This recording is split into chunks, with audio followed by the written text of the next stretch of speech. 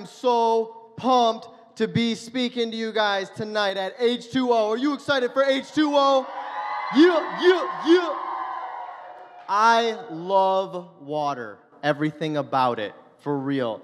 I love laying by it, I love laying in it, I love drinking it in, I love peeing it out, everything about it. So, huge shout out to Pastor Dave for this honor, really means a lot. So, tonight, H2O, you're gonna be throwing water balloons at each other at a certain point, right? And there's gonna be one dingbat that chucks it right at your face, right? You're not supposed to do that. No, no, no, no, no. Don't do it. But guess what? There's going to be just some dummy that does it anyways. And then you're going to see it out of your periffs coming at you. And then you're going to go, Whoo! what just happened? And you're going to dodge it without even trying to. It's called your reflexes, right? You know what I'm talking about? It's those times where you feel like a total secret agent, Superman combined kind of guy and you don't really know how that just happened, but it happened. You see, we all have that one friend, am I right? Where you go, hey, Matt, catch. And then you throw it. He looks right at it. He knows it's coming. It gets closer to his face. But for some reason, he just can't get his hands in this position. And it still hits him in the face. Those are bad reflexes. So we have physical reflexes we don't only have physical reflexes, but we have emotional reflexes as well. You see, when something sad happens, we are sad, right? We don't choose to be sad. It just happens because we've trained ourselves to know that being sad, sadness, is an appropriate response to sad times. You, go, you know what I'm saying, right? Come on. Don't fall asleep on me already. So often, our emotional reflexes actually influence our physical reflexes. You know where I'm going with this. You stub your toe. You don't stub your toe and then make a decision in your mind and go, hmm, that was undeniably painful. I do declare that now is a proper time to vociferate my irritation. No! You flip out! And then you scream, and then you put your hand over your mouth because you didn't even know you were gonna scream, so you scared yourself from screaming. You didn't mean to scream, you just yelled it out, right? Because your emotional reflex actually triggered a physical reflex that you weren't even ready for. You felt pain, and then you acted out in pain, right? You, you felt something hit your toe, and then your emotional reflex went, ouchie, that hurt. Better tell the boys downstairs what's going on. And then your physical reflex went, ouchie, that hurt. And you didn't even know it was going to happen. And that is how they work in tandem, together. See, you have physical reflex, you have emotional reflex. You might not know this, but there's one more type of reflex we have spiritual reflex. And that's what I'm talking about tonight because spiritual reflex is the most important kind of reflex because your spiritual reflex actually invokes your emotional reflex, which influences your physical reflex. So, if you can control your spiritual reflex and train your spiritual reflex, you can train all of your other reflexes. Luke 6:45 says, out of the abundance of the heart, the mouth speaks. Out of the abundance of the heart, the mouth speaks. That's like super important. Out of the abundance of the heart, the mouth speaks. What's that telling us? Garbage in, garbage out, right? You put garbage in, you're gonna get garbage out. You train your heart to act like a stupid poopy butt, you're gonna act like a stupid poopy butt without even deciding to act like a stupid poopy butt because you have stupid poopy butt reflexes. And that is called Chipotle on a Friday evening. so if you train your heart, you train your reflexes. If you misguide your heart, you misguide yourself because your reflexes will misguide you. Like I said, I love water, water activities, everything about it.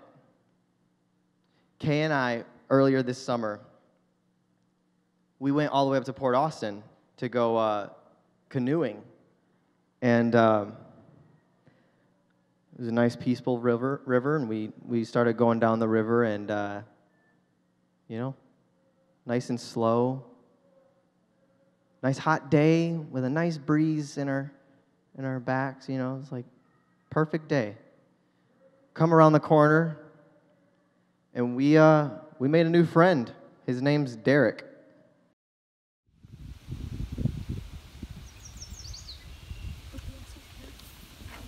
Uh-uh, don't think about it, buddy.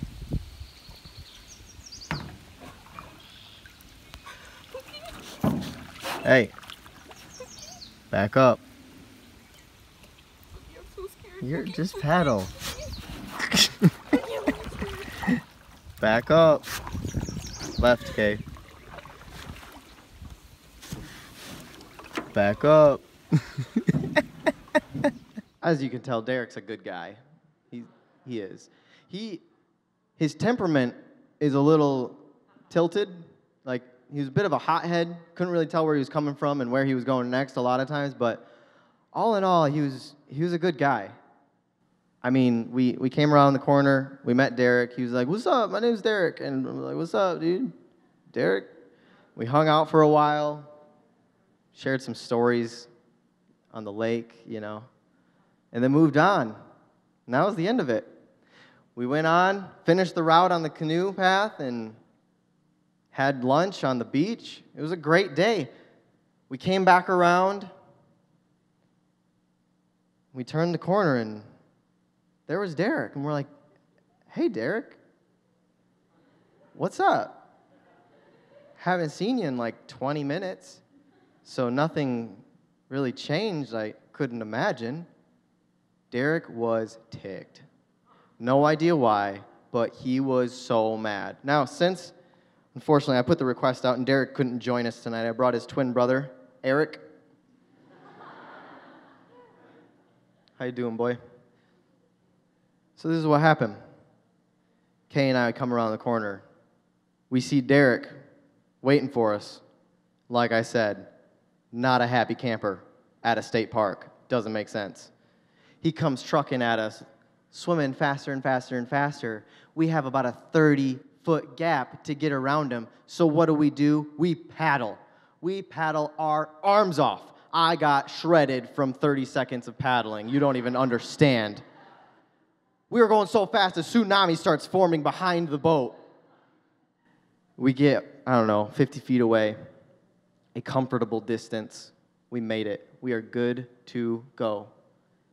And then suddenly, I look back and I, I see Derek.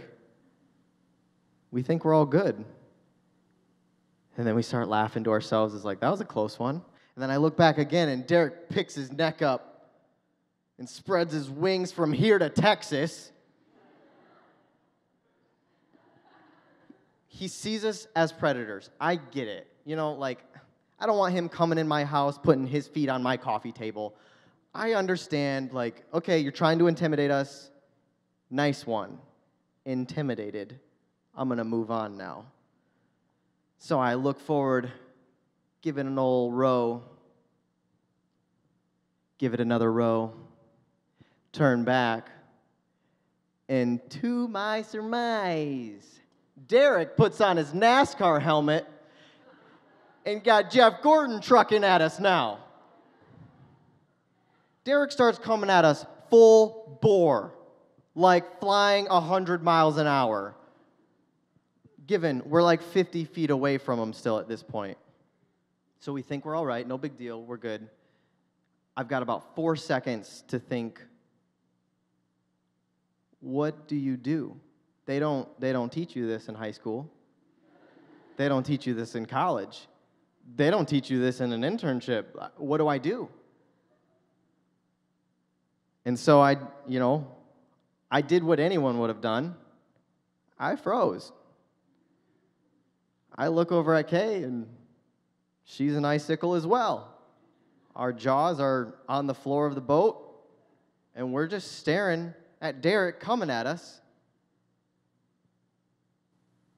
And I'm thinking, I can't believe this is happening. He's coming right at us. He gets about halfway. I realize he's not even coming for me. He's coming for Kay at the front of the boat. And then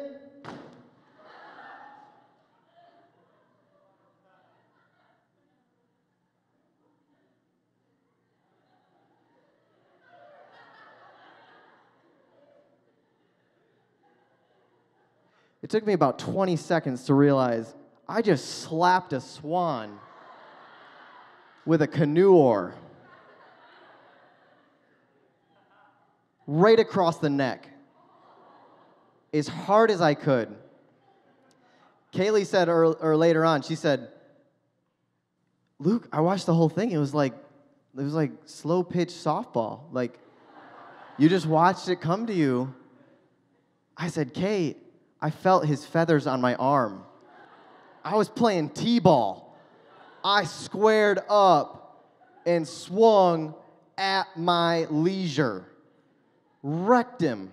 Now, so you don't call DNR on me. I gotta say, Derek's fine. He is. We, uh, we took the interns up the next week and we ran into Derek we actually got to meet his kid, because that's why he was being so territorial. We're cool now, you know. He, right there? We shared some old stories, caught up, had a cup of coffee. We can laugh about it now. It's all good. So don't worry about Derek. The point is, I didn't think or decide what I was going to do. It literally just happened. I see this swan coming at me, I couldn't think of anything to do. I was frozen. And then all of a sudden, I see a clothesline swan like this in the water. he gets up and looks at me, and I'm like, We got to go, Kay. That was all I had. That was my one move. But I didn't have to think or decide what I was going to do. And that's the point. You see, my spiritual reflexes the entire day were warning me about this swan's temperament. They were warning me and being like, hey, um, just so you know, he kind of looks like a psycho. And that's the Holy Spirit speaking to me the whole day. It might be as silly as a swan, but the Holy Spirit was speaking to keep us safe. Because we read later we were reading stories on BBC of this guy gets knocked off his kayak and held under by a swan and he died. Super sad, super crazy. These things are dangerous. If I would have known that beforehand, who knows what would have happened? I may have jumped out and said, You're on your own, Kay. But the Lord knew what I needed to know in that moment. And He was warning me all day watch out for that swan. I wasn't thinking, man, if that swan comes at me, I'm gonna swing. I didn't think about it at all, honestly. Didn't cross my mind once. I didn't even realize I swung until like 30 seconds later. And then my emotional reflexes were sensing an urgency in that moment to tell my physical reflexes, hey, yo, Luke, let's give a warm welcome to Derek in his new home at Suplex City. Boom! Wrecked him. Didn't even see it coming, it just happens. See, I made a previous decision in training my heart that I was going to protect Kaylee. That was something I knew already before going into that trip. I didn't think specifically, man, I'm going to protect her from a swan one day. No. I just know I'm going to protect Kaylee no matter what. And so in that moment, my reflexes took over. I, I didn't need to decide, I'm going to protect Kaylee right now. My reflexes took over and protected Kaylee before my mind could really even recognize what was going on. See, Proverbs 25 28 says, A man without self control is like a city broken into and left without walls. A man without self control is like a city broken into and left without walls. When you do not train your heart in the ways of the Lord, your reflexes actually work against you. See, what happens is you're left without a defense. Your defense is compromised. And then you're vulnerable to attack from the enemy. See, some of you are, are misguiding your heart in secret. You don't see it as a big deal. Well, I watch this movie, it's, it's got some nudity in it, but it's like no big deal. Or when I hang out with these friends, I'll I'll say whatever I want. But then, you know, when I go to church or when I'm around my parents, I'll, I'll clean it up and it's no big deal. See, if you're, you're thinking you're all cool, cussing with your friends and saying things you shouldn't say, you're going to stub your toe. Guess what the first words out of your mouth are going to be? Probably words you shouldn't say because your reflexes are compromised. If you're busy looking at things on the internet you shouldn't be looking at, you get so deep in that, you just compromise your reflexes. Next time you're watching TV or you're on Instagram, Facebook, there's an ad or some sort of something inappropriate pops up, you're not going to have the reflex to change the channel, to not go to that Instagram profile, to not talk to that girl, to not talk to that guy. Because you're so desensitized to sin that you completely misguided your heart and your reflexes are now misguiding you to the point where you can't even hear the Holy Spirit speaking to you. Who's the Holy Spirit? It's that small voice saying, Don't do it. Dude, it's a bad idea. Trust me. Just trust me, it's a bad idea. He's guiding us in our decisions. When we don't know if we're going left or right, just listen. You see, he's warning, he's warning all of us about a super mean swanzilla around the corner that's trying to kill you. And we're not paying attention because we've misguided our hearts. We're not training ourselves to have proper reflex in proper time. Because the devil, he's scheming to kill you to destroy you, to strip you of all confidence and potential that the Lord has put inside you from birth. Did you know that? The Lord put a purpose on your life when you were born. He created you for a reason. God doesn't make mistakes. So when things go wrong in our own eyes, what's your reflex going to be? How are you going to respond to it?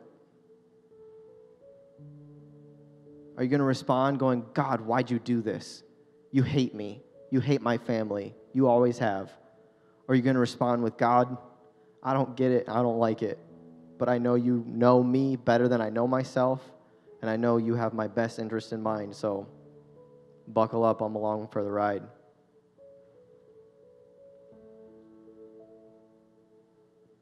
See, if you're, if you're constantly in this secret sin, misguiding your heart, it's no secret that you have no reflex. So your private indulgence becomes your public influence. What you're doing behind closed doors becomes who you are and what you stand for.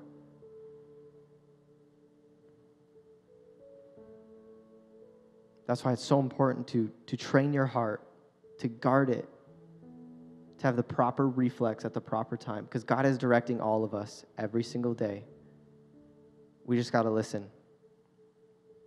If you want to bow your heads and close your eyes, got a couple things I want to talk about. First of all, if you're in this room right now and you don't have a personal relationship with Jesus, you have not ever accepted him in your heart on the count of three, I want you to lift your hand.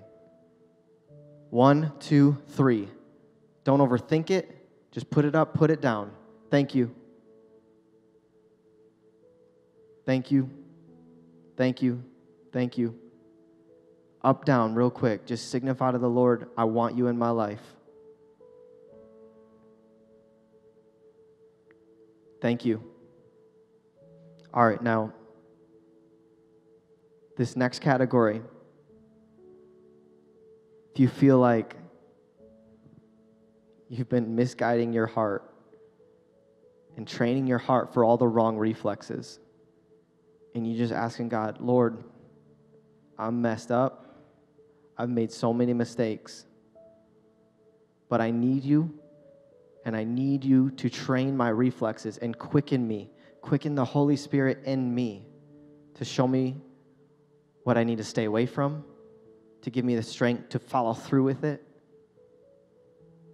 If that's you right now, on the count of three, put your hands up. One, two, three. Thank you, thank you. Just up, down, real easy. Thank you. That's awesome. That was a lot of people. Again, I like to say that was a lot of people. So you know you're not alone. More than likely, the person next to you lifted, your, lifted their hand as you lifted your hand. And so that's how we can become accountable with one another. If you know that you are deep in sin in a secretive, faker Christian life, just talk about it. We're all family here. We'll get through it together. Now, I'm going to pray right now. And if you want to accept Jesus in your heart, I want you to pray that in your, in your heart. I want you to ask the Lord to come into you, make you whole, and start a relationship with Him. And at the same time, if you need a renewal in your reflexes, I want you to pray that in your heart as well. Jesus, we come before you completely honored and humbled that the creator of the universe would meet us in our mess, in our complicated way, just the way we made it. So, right now, I ask that you uncomplicate us. God, you show us how to train our hearts in deep relationship with you. God, so that the times of temptation and trial, when they come, we will have proper reflex and proper timing to evade the enemy's schemes and learn to love you, God, even greater. So, right now, we submit ourselves in obedience to you and say, with us, do what you want. We love you so much. And everybody in this place said, Amen. Amen. Come on, give a shout to the Lord.